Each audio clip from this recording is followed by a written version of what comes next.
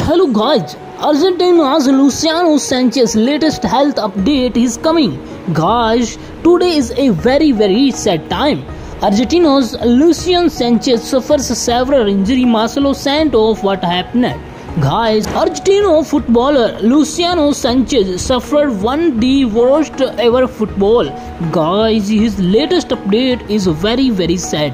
Guys, the career-ending challenge came at the expense of former Real Madrid player Marcelo, who was sent off with a red card. The incident occurred during a Copa Libertadores match between Marcel Brazilian club Fluminense and Lucianos Argentinos.